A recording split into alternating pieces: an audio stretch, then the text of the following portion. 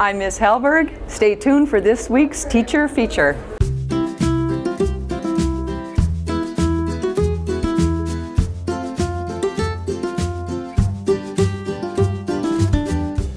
I grew up in uh, southeastern Minnesota and I have six brothers and sisters and most of my family still lives in Minnesota. What was it like growing up in Minnesota?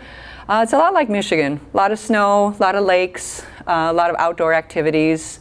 Uh, riding bike, uh, I had to get a job uh, because we had so many kids in my family that I had to contribute. Uh, so I worked as a, a waitress when I was 14 so prior to that, I just did kid stuff. Um, I went to college there, and then after college, I moved to uh, uh, Michigan area. For as long as I can remember, I've always liked teaching. Um, with that many brothers and sisters, we played school a lot, and I always ended up being the, the bossy one. So um, it just seemed like a natural fit. I enjoy um, educate. I liked high school. I liked college. So my favorite part about teaching is uh, interacting with the kids. I really like getting to know the students and hearing their ideas and um, hopefully inspiring them to be you know, better students and uh, career focused. Uh, I have three children.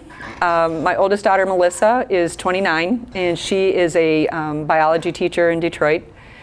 Uh, my second daughter, Rachel, is 27, and she's the office manager of a book publishing company. And she has a, a son, my grandson, and my son is 26, and he is uh, uh, former military. He retired uh, uh, from the Marine Corps, and he is now a full-time student at OU.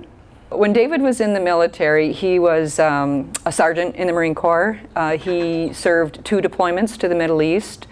Um, his role was in infantry, which was pretty uh, nerve-wracking uh, as a mother to have a a child in the uh, infantry in the in combat zone. In my free time, I really like to travel and explore um, museums, bookstores, uh, historical sites, uh, just different cities and restaurants and hanging out with my kids. Yeah, we like to go to water parks and amusement parks and Disney World is a favorite. I do have a children's book that is published. It's titled um, The Adventures of Jake the Penny. And what inspired me to write it? Uh, well, I used to teach elementary school, and one of our um, curriculum assignments was to create um, uh, a story.